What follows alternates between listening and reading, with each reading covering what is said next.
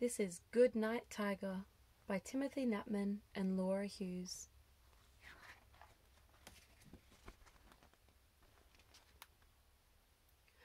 It was the middle of the night, but Emily couldn't sleep because of all the bellowing and stomping and trumpeting and growling.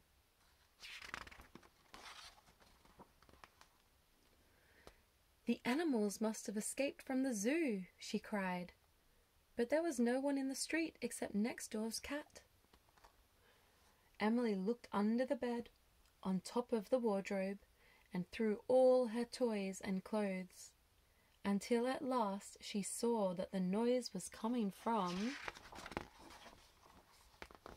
the animals in her wallpaper. The gorilla bellowed, and the hippo stomped, and the elephant trumpeted, and the tiger growled, until Emily shouted, Go to sleep! We've tried and tried, but we can't, said the tiger. We'll soon see about that, said Emily. And she grabbed a chair and climbed up into the jungly wallpaper.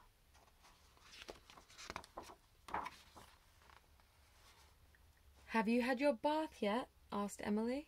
No, said the tiger. Well, no wonder you can't sleep, said Emily.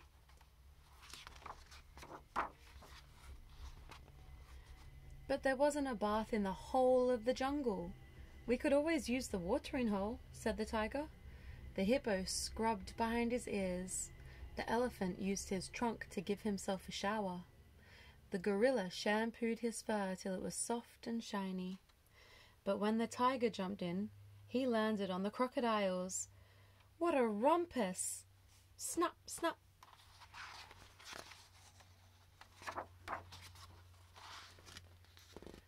A bath like that won't help you get to sleep, said Emily. How about some hot chocolate? Yes, please, said the tiger. But there was no hot chocolate in the whole of the jungle. We could always use mud, said the tiger. The gorilla mixed it very carefully, and the elephant used his trunk to pour it into little cups. It smelled horrible. But when Emily and the tiger drank it, they found that it actually tasted completely disgusting. Blech. A drink like that won't help you go to sleep, said Emily. But what else can I do? Emily tried everything. She gave them a bear to cuddle, but the bear got cross and ran away. She started to sing them a lullaby, but the whole of the jungle joined in and it got too loud.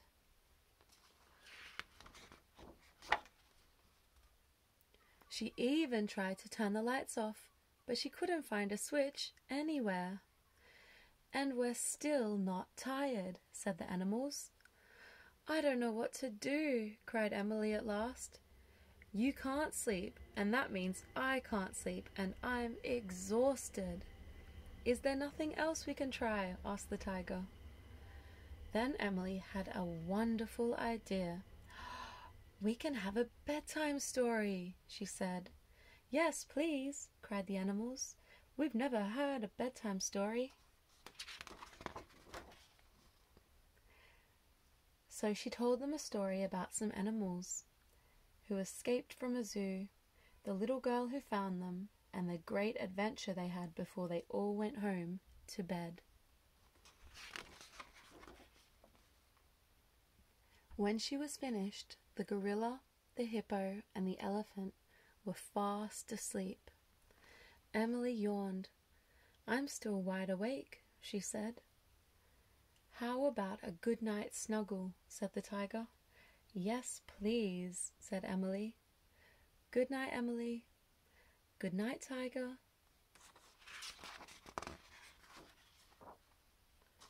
The next morning, when Emily woke up, the animals were smiling down at her from the wallpaper, all except the tiger.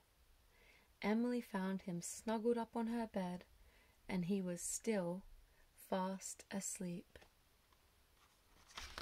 And that is the end of Good Night Tiger by Timothy Knapman and Laura Hughes.